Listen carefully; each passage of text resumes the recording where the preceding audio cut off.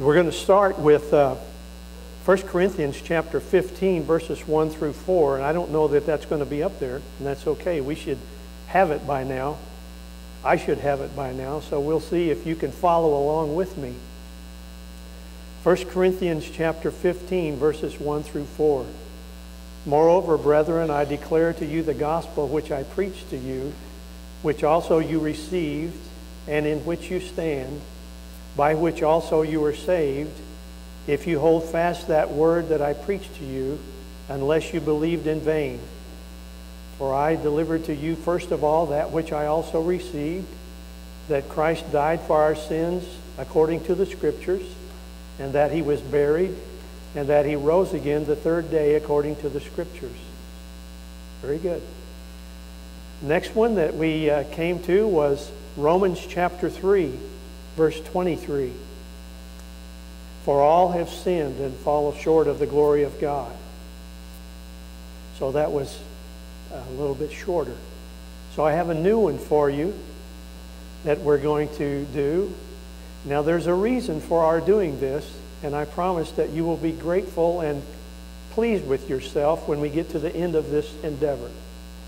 And the new verse for this week is Isaiah chapter 59, and verse 2. But your iniquities have separated you from God, and your sins have hidden his face from you, so that he will not hear.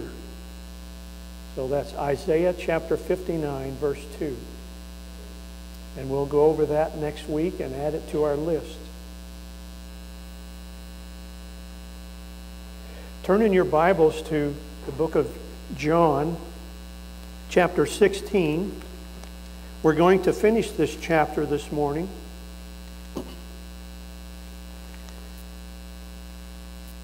In a slight review of what we've been through in the Gospel of John, starting in chapter 15, we saw that we are to abide in Christ so that we might bear fruit.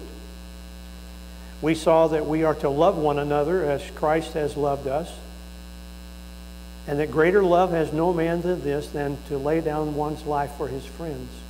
And we saw that we are Jesus' friends. He calls us friends if we are in Christ, if we have accepted him as our Savior. We saw that he con- was concerned over our relationship with the world and warned us that the world would be our enemies, or we would be enemies of the world. And we see that in other parts of the world, in third world countries, and we see it beginning to show up in our country. Last week we looked at the first portion of chapter 16 and we talked about having a heads up and a coaching change.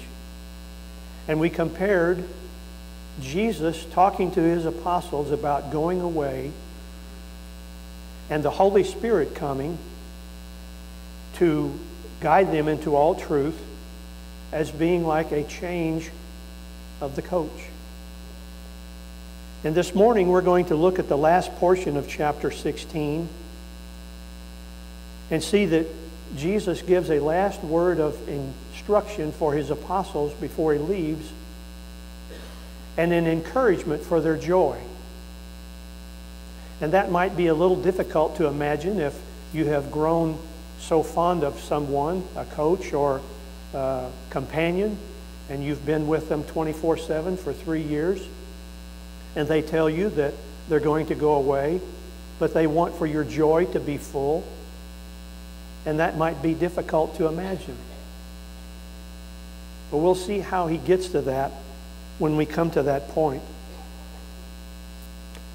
So in chapter 16, verse 16, a little while, and you will not see me, and again a little while, and you will see me, because I go to the Father. John wrote this gospel. He also wrote three epistles, 1st, 2nd, and 3rd John, and he also wrote the book of the Revelation of Jesus Christ, the last book in our Bible. And in this gospel and in the book of Revelation, if we study it, we'll find that John is somewhat enamored with the number seven. If you studied Revelation, you are acquainted with the fact that Jesus dictated seven letters to seven churches. There were seven golden lampstands and seven stars. There are seven seal judgments and seven trumpet judgments and seven bowl judgments. In these first four or five verses, there are seven times that John, through the authorship of the Holy Spirit, uses the phrase a little while. I don't know what you can do with that information, but I find that interesting. A little while, and you will not see me. And again, a little while, and you will see me, because I go to the Father. So the reason is he's going to the Father. That little while, I think, for me, means that period of time between his crucifixion and his resurrection when he then was seen by them for some 40 days afterward. Verse 17 says Then some of his disciples said among themselves, What is this that he says to us, a little while, and you will not see me? And again, a little while, and you will see me. And because I go to the Father. You can picture some of them over in the corner of the room whispering among themselves, asking themselves these questions. Verse 18, they said, Therefore, what is this that he says a little while? We do not know what he is saying. Now, Jesus knew that they desired to ask him. That's a big point. Jesus knows what we want to ask before we ask. Sometimes you've wanted to ask your parents something. I can remember wanting to ask my dad things when I was a teenager and not having the nerve to do it.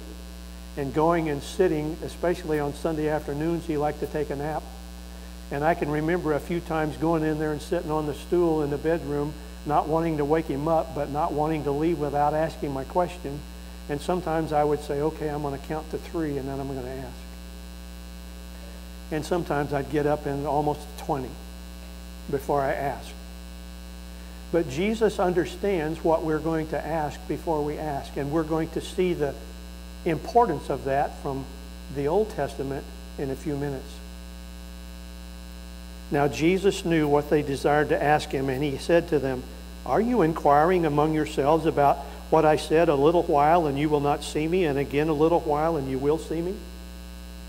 Most assuredly, I say to you that you will weep and lament but the world will rejoice.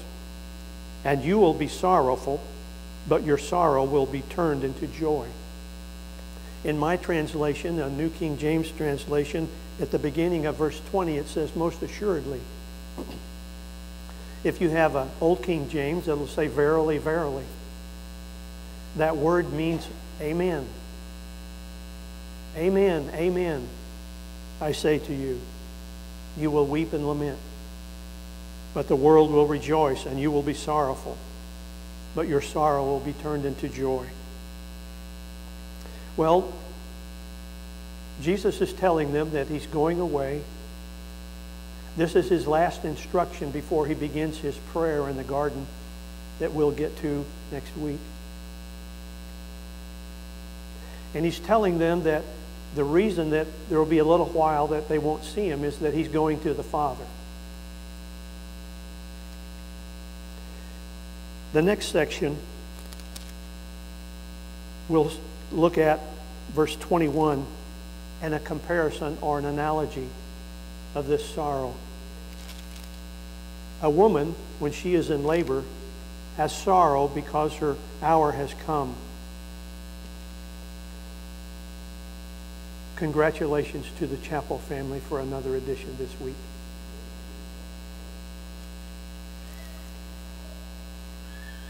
A woman, when she is in labor, has sorrow because her hour has come.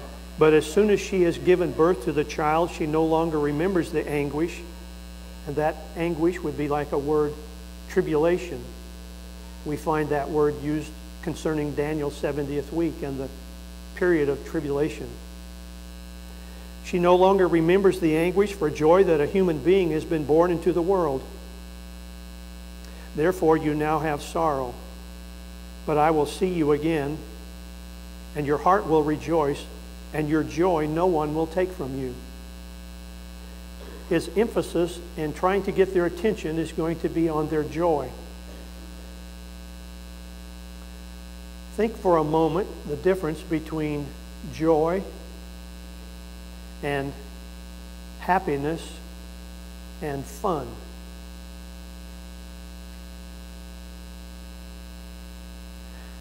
I don't know, and this is just a, a personal thought, might not be real accurate, but for me it works.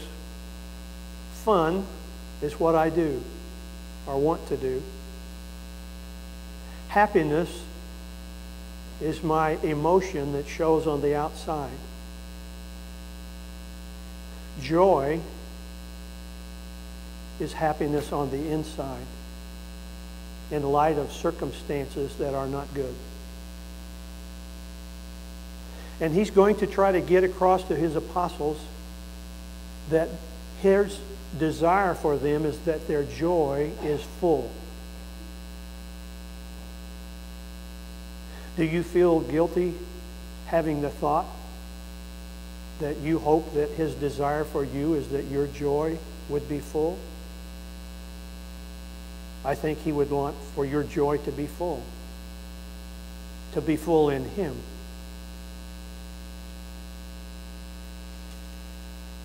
We're going to try to make an application of this towards the end of this by looking at what John had to say in one of his epistles. Try to apply it to our lives so that we can see about this joy and if we can notice and have joy in our lives.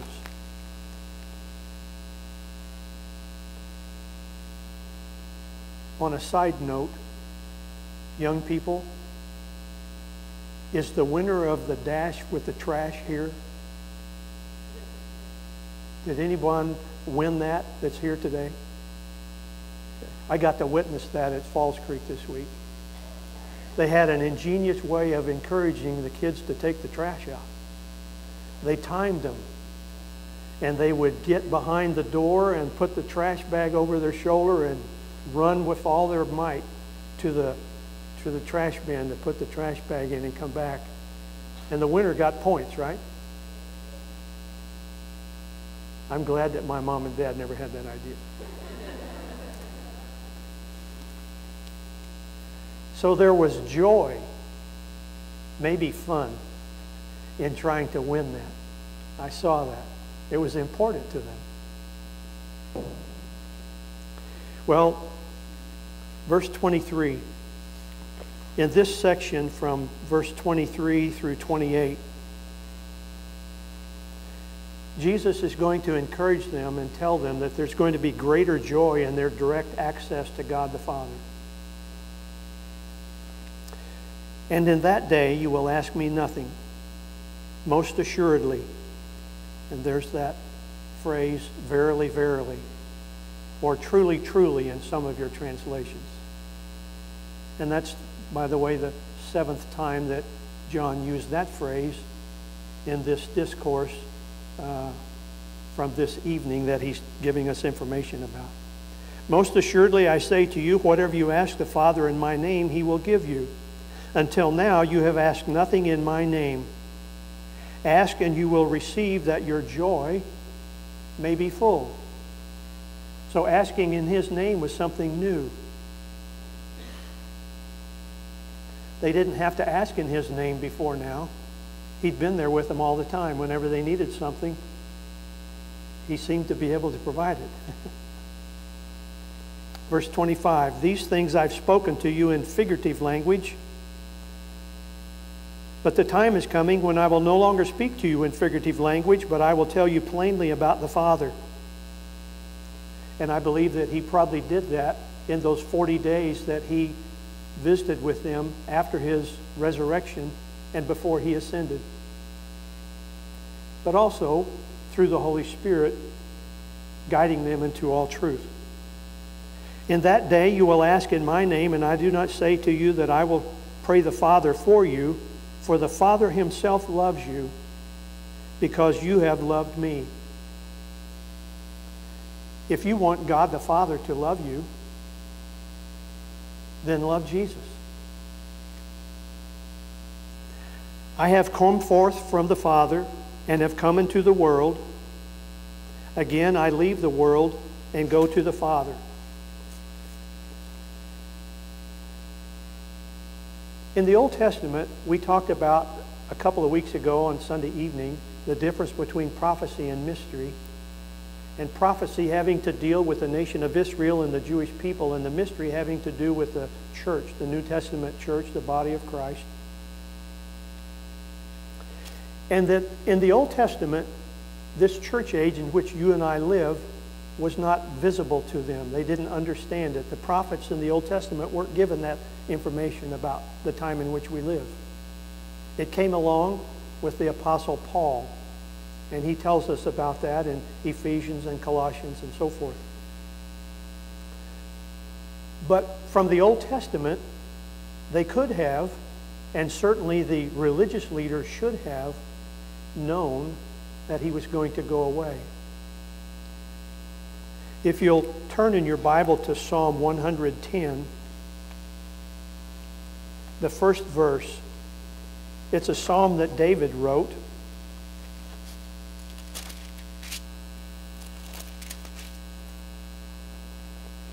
And it's prophetical. And it speaks about the time in which Jesus is just about to enter into, and he's been telling his apostles about. Psalm 110, verse 1 says, The Lord said to my Lord, Sit at my right hand till I make your enemies your footstool. Do you know that the time when Jesus walked with the two guys on the road to Emmaus after his uh, uh, resurrection, and he, from the law of Moses and the prophets and the Psalms, declared to them all the things that would happen to the Messiah? He was using the Old Testament to explain to them what had happened and how that everything that had happened had fulfilled prophecy. And so the Old Testament is of great value to us. It might not be that it's written directly to us, but Paul teaches us that it was written for our admonition and for our benefit. Now turn to Hosea. If you can find the book of Daniel to the right, there's Isaiah, Jeremiah, Lamentations, Ezekiel, Daniel, Hosea. And turn to Hosea chapter 5 and verse 15. This has implication that involves even the day in which we live. It certainly did for the apostles. We find a, a pretty good difference in what appears to be the understanding and the wisdom of the apostles before Christ's crucifixion and resurrection versus afterward, especially after they received the Holy Spirit on Pentecost. It's almost like up to this point, when Jesus would tell them that he was going to be uh, tortured and crucified and would raise again the third day, it was like they didn't quite understand it. After they received the Holy Spirit at the day of Pentecost, it's almost like all of a sudden they were instant PhDs in theology. And they taught and preached and led people with great wisdom and understanding. And they were used mightily. But at this point, they were like the religious leaders. They didn't quite understand everything that, that Jesus was telling them. Remember, we saw last week, he said, I have many things to say to you, but you can't handle them now.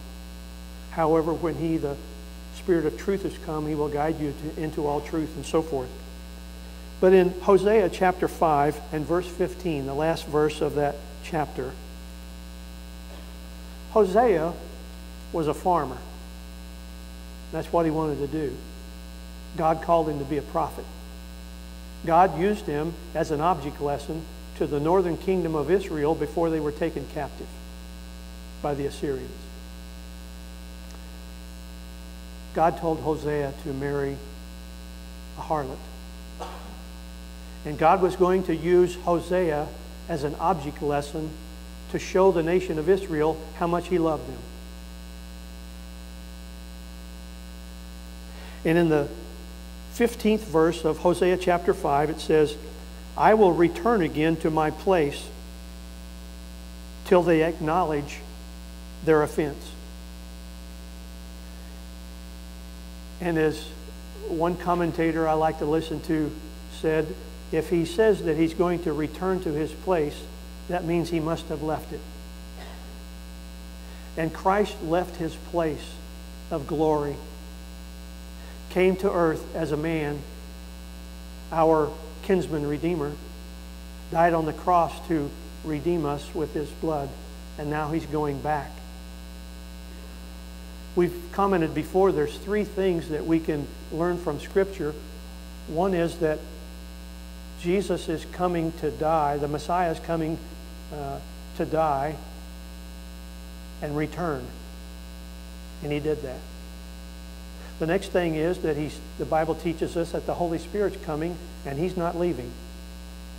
He's going to stay right in with your spirit when you accept Christ. The third thing is that Jesus is coming back we understand and we talk a great deal about the fact that he came and he died on the cross. We understand and we talk about sometimes that the Holy Spirit lives and dwells within us. But I'm afraid that as New Testament Christians, we fall down on discussing with great detail and excitement the fact he's coming back. And everything that we see in the world seems to indicate that it won't be long. If you were getting ready to have a relative from a long way off come to your house, and you had an idea that they might show up at any time, there would be a whole lot of change going on in the house. Cleaning done, uh, things picked up, uh, the yard mowed, uh, bushes trimmed, all those kinds of things and others that I can't think of and don't want to remind my wife of. But in anticipation of somebody coming, we would make preparation for their arrival. And yet, the greatest kinsman that we have or will ever have has said that he's coming back and that we're to watch for him daily. But we kind of fall in with all the rest of the world. Well, it's been 2,000 years and he hasn't come back yet. I doubt he'll be here today. But one of these days, he's going to surprise people hopefully it won't be us that will be surprised.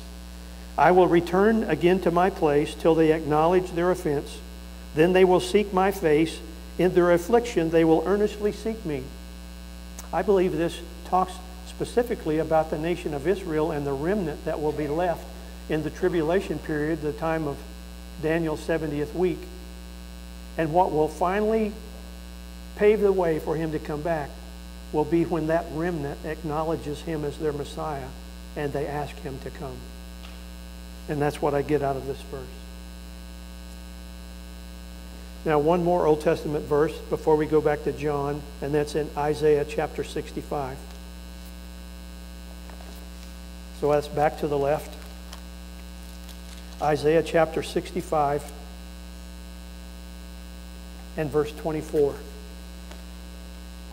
And this is the verse that ties in to when Jesus knew what the apostles wanted to ask him. It shall come to pass that before they call, I will answer. And while they are still speaking, I will hear. That verse that we have for our memory verse Isaiah chapter 59 and verse 2 says that your iniquities have separated you from your God. and your sins have hidden his face from you so that he will not hear. But when God's people, whether us in our day or that remnant of Jews in that day, trust in Christ and turn their hearts to him, he will begin to answer even before they ask. Now back to John chapter 16, verse 29. His disciples said to him, See, now you're speaking plainly and using no figure of speech. Now we're sure that you know all things and have no need that anyone should question you. By this we believe that you came forth from God.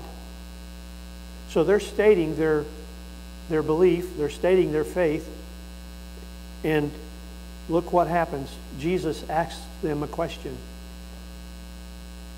Did you know that you can teach people by asking questions? God said, Adam, where are you? God knew where he was. But when Adam had to face that answer, then that began to teach Adam his sin and his need. And so Jesus says, Do you now believe? Indeed, the hour is coming. Yes, has now come that you will be scattered, each to his own, and will leave me alone. And yet I'm not alone because the Father is with me. And we understand that that's speaking of the time when they will scatter, when Judas leads the, the enemy to arrest him in the garden. And we come to a triumphant conclusion of his instruction in verse 33. These things I have spoken to you, that in me you may have peace. In the world you will have tribulation, but be of good cheer. I have overcome the world. So now we're going to see if we can make some application. Turn over in your Bible to 1 John.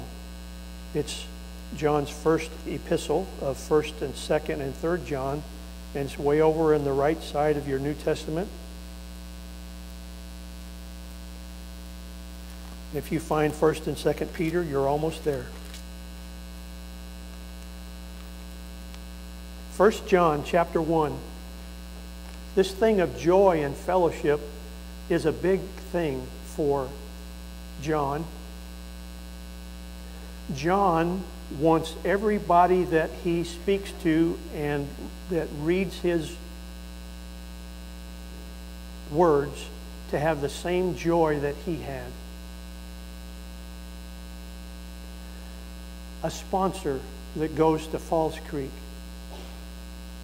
wants for the students that are there to come to the point in their life that they have the same joy and understanding and love of God that they do. You, as a parent, want for your children to have the same or better life that you have had.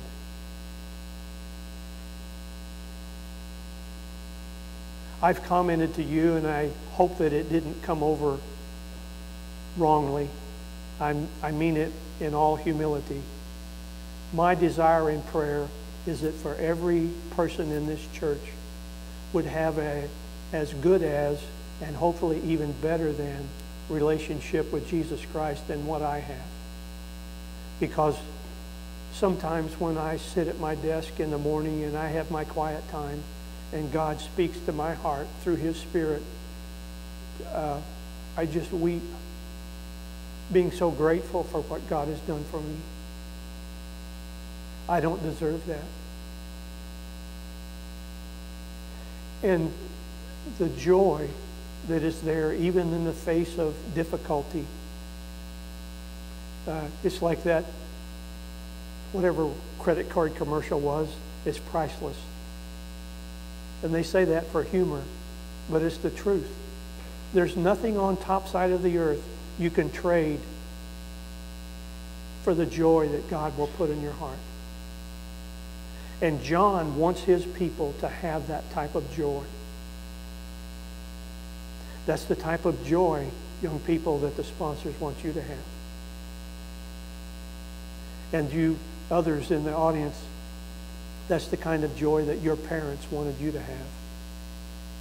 And in the first four verses of John, 1 John chapter 1, it's like John, picture him excited to tell and to share with somebody that which was from the beginning, which we have heard, which we have seen with our eyes, which we have looked upon, and our hands have handled concerning the word of life. The life was manifested, and we have seen and bear witness, and declare to you that eternal life which was with the Father and was manifested to us. That which we have seen and heard, we declare to you. He's telling them, Look, I want you to know everything that I've seen and heard. I have fellowship with the Father and with His Son, and I want you to have that fellowship. He says that you also may have fellowship with us, and truly our fellowship is with the Father and with His Son, Jesus Christ. And these things we write to you that your joy may be full. Jesus explained to the apostles that he was going to the Father and they had direct access to him. When Jesus died on the cross, that veil between the holy place and the Holy of Holies was split in two from top to bottom. And it signified that anybody that wants to can go through the blood of Christ into the very presence of God. We don't have to go through anybody else. The Bible says there's one mediator between God and man, the man Christ Jesus. And so you can go into the very presence of God through the blood of Christ. And he wants this fellowship to be just as real for us as it was for him. And lastly, turn to 1 John chapter 5.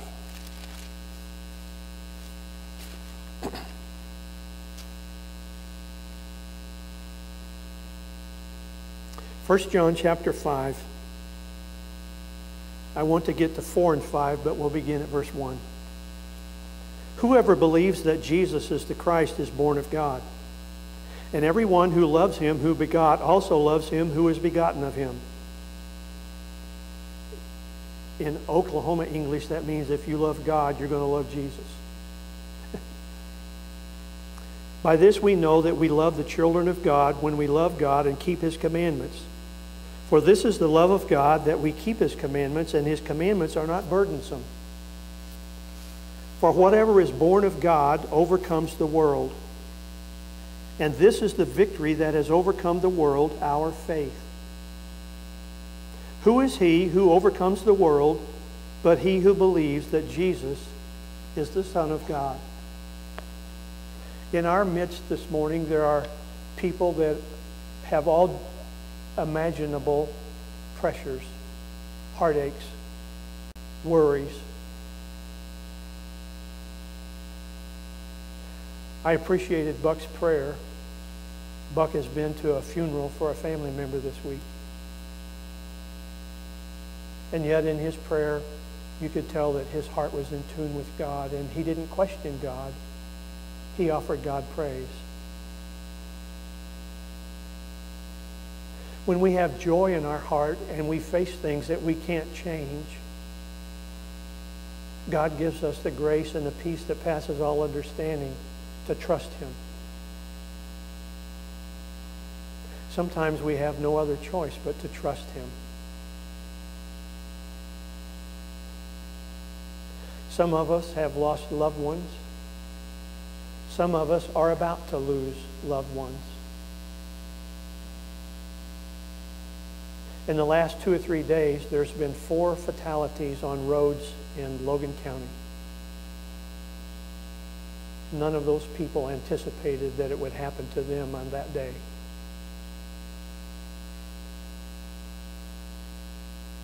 When I was in high school, and the uh,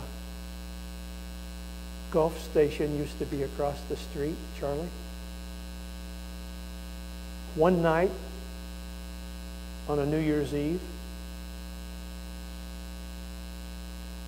Me and one of my distant cousins from north of the Skelton Creek and a friend of mine were out doing things we shouldn't be.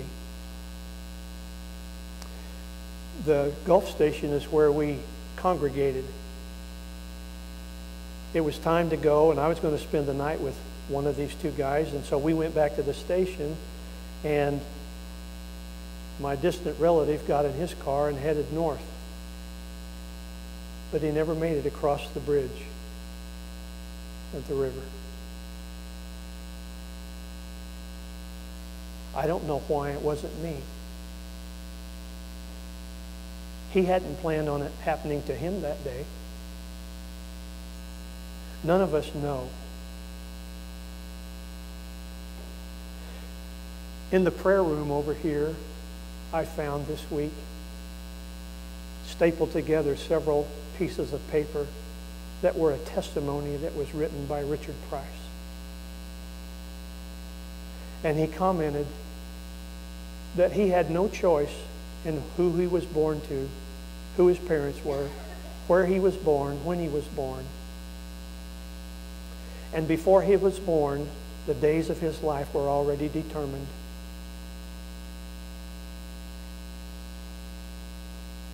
And he quoted from Psalm 139. And we don't know if today will be our last day or not. And so we can't worry about that. We must trust Christ.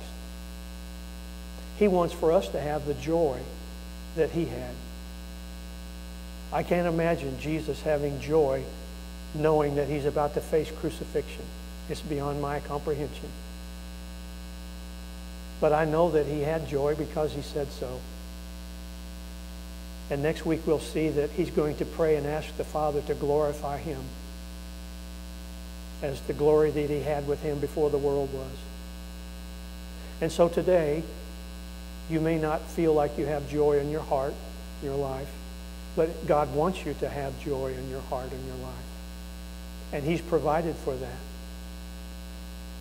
He's paid the price for us to have that. And that's his desire. That was John's desire.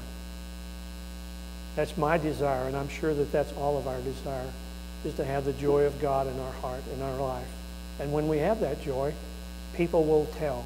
They can tell. And the greatest witness that you might be able to have with anybody is for them to see the joy in your heart might mean more to them than you trying to force yourself into explaining a Bible tract to them. I wouldn't want to discourage that. Go ahead and do that.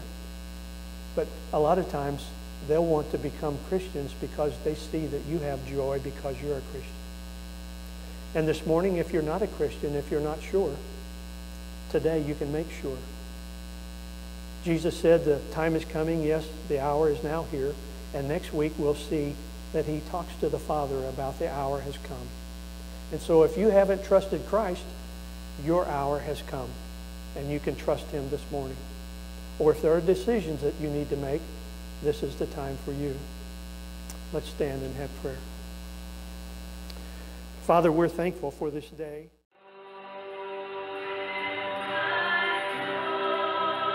Yeah.